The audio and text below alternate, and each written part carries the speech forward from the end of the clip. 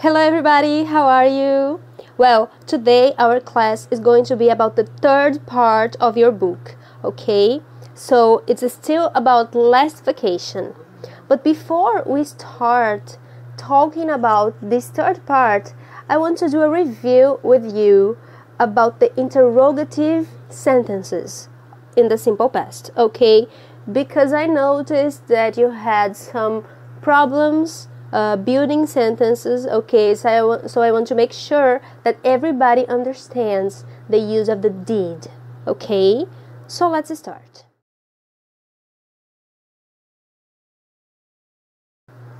Remember, we are going to use did for sentences in the past.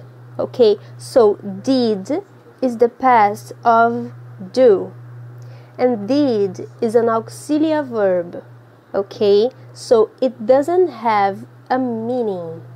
Okay, when we see the word did in a sentence, it means that this sentence is in the past and it is either a negative or interrogative question sentence okay? It's a question or a negative sentence.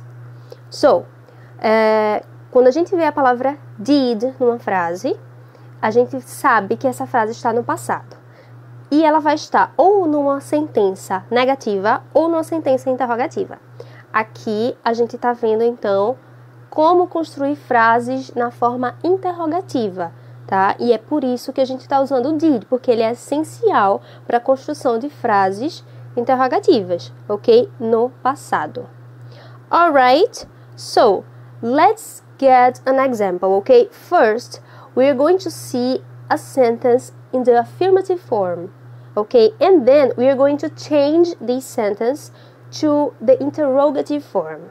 So let's start. For example, if we say, Anne studied okay Anne studied it's a sentence is an affirmative sentence in the past how do we know that this sentence is in the past because of the end of the verb okay we have ied all right so that's why we know that this sentence is in the past okay uh, to make this sentence into an interrogative sentence, we are going to need did. All right? So we're going to need did to turn this sentence into a negative one. Vamos lá então. A gente vai pegar essa frase Anne studied, que a gente sabe que está na interrogativa, na, né, no passado. Por quê? Por causa do final do verbo. Ok? A gente tem o final do verbo com IED. Então a gente sabe que está no passado. Ok? Para transformar numa pergunta, o que, que a gente vai precisar? Que a gente viu na última aula? O did, ok? So, if we use did, and we know that did is in the past, we don't need the IED anymore, okay?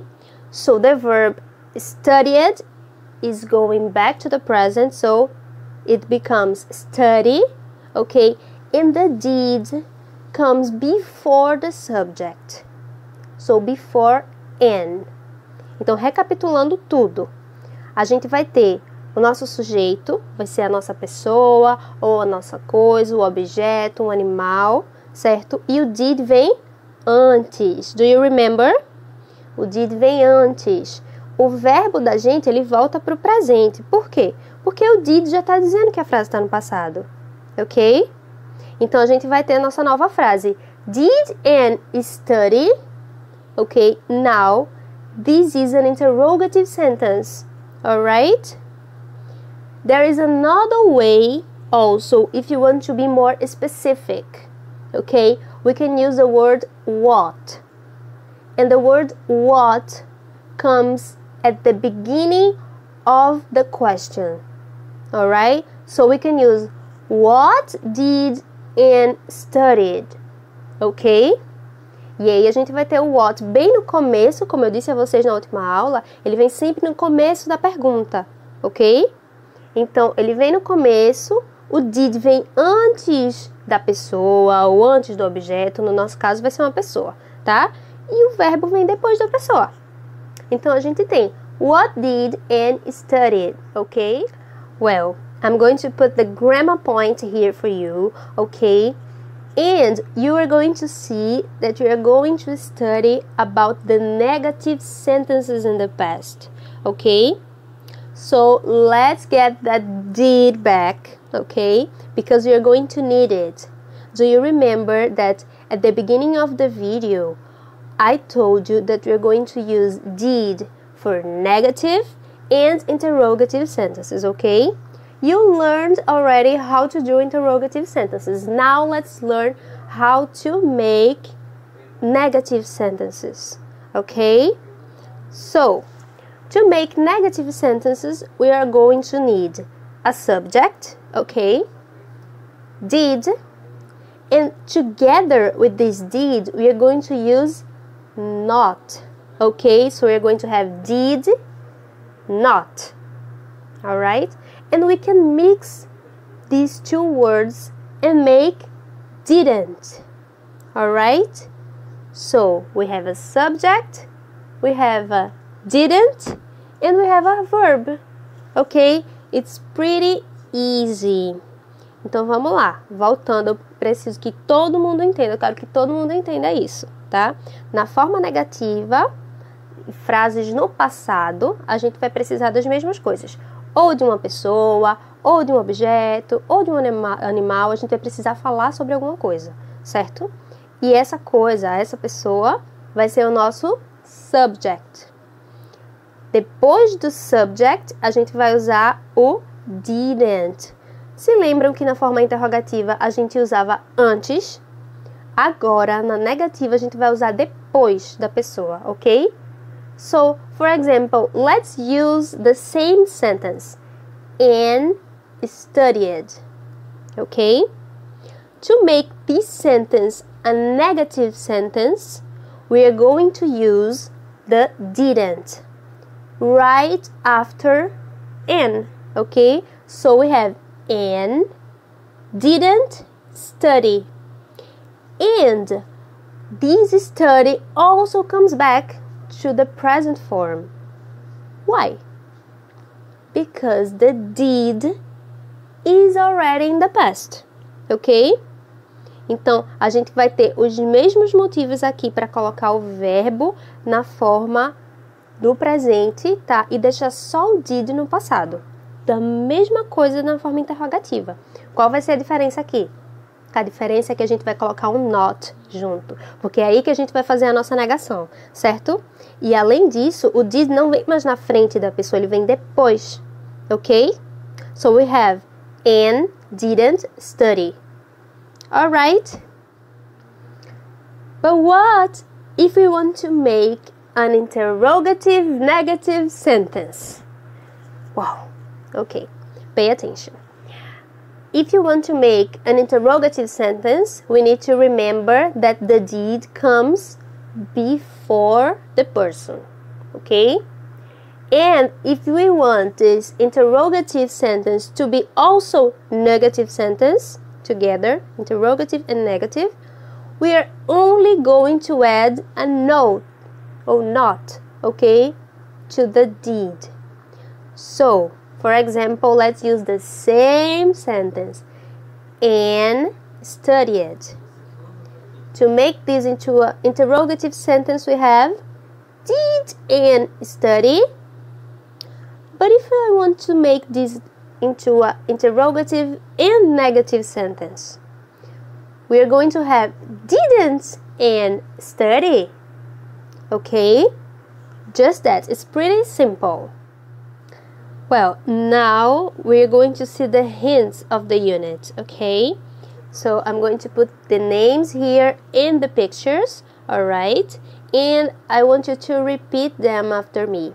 Let's start. Say hiking, rambling,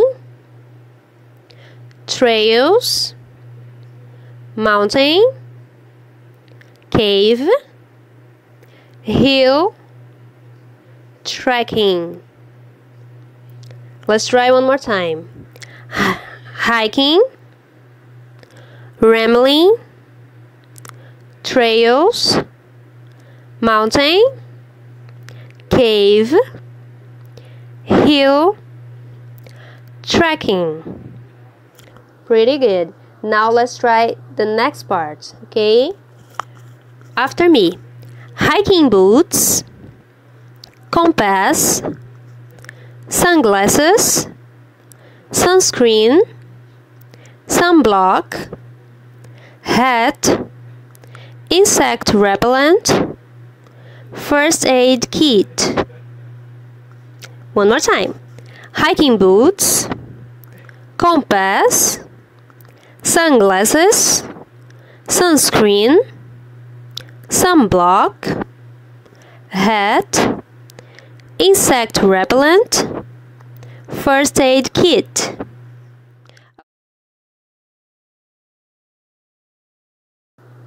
Now I'm going to read the dialogue and I'm going to put it here, okay, as usual. I want you to read with me, okay, and after I'm going to read again, I would like you to repeat, okay? So let's start. I got a sunburn. Mary, long time no see. Why is your skin so red? Hey, John, am I that bad? I'm sorry, Mary, but you look like a tomato. I went hiking with my family and I spent a long time in the sun. And now I got a sunburn. It hurts a lot. Oh, I see. Didn't you put on your sunscreen? Yes, but I visited so many different places and I didn't put on the sunscreen again. Ouch! And what places did you visit? I visit Grand Canyon National Park and a lot of trails around the park. Next time, I'll call you to go with us. That sounds great! Now I have to go. Bye! Bye! Now I'm going to read again and I would like you to repeat after me, okay? So pay close attention and repeat, okay? Say, I got a sunburn. Mary, long time no see.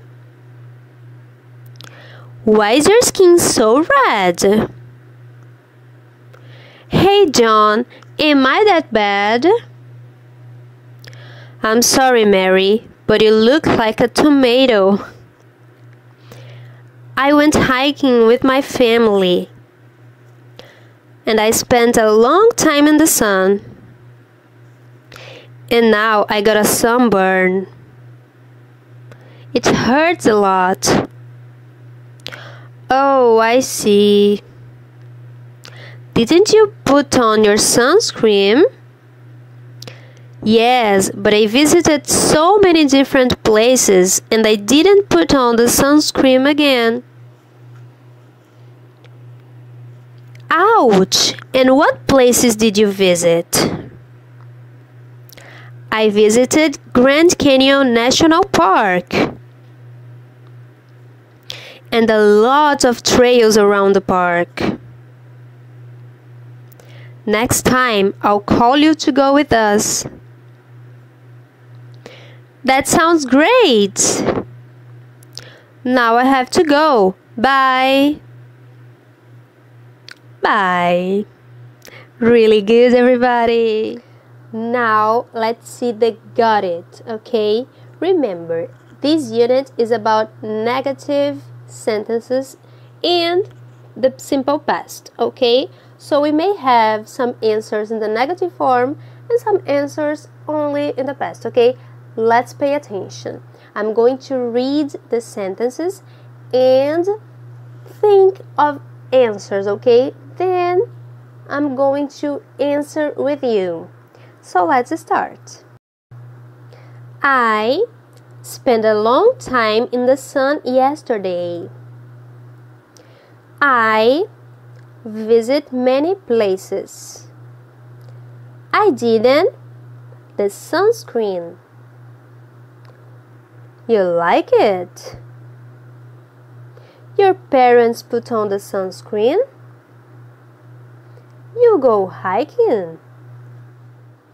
Now let's answer the got it, okay? Let's go. I didn't spend a long time in the sun yesterday. I didn't visit many places. I didn't put on the sunscreen. Did you like it?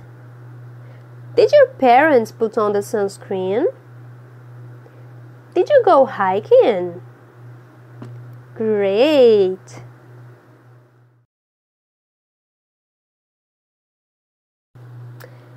For homework, as usual, you need to build four sentences. This time, only four sentences, okay? Build four sentences in the negative form and in the past, okay? So the sentences need to be negative and in the past, alright? Então, para a tarefa de casa, vocês vão fazer four sentences, ok? Na negativa, na forma negativa e no passado. É, cada frase tem que ser na negativa e no passado. Alright? You can check the grammar point, ok? So, do it. If you have any question, you can ask me next class, okay? And that's it, guys. It was really nice to see you. Okay, see you next week. And bye bye.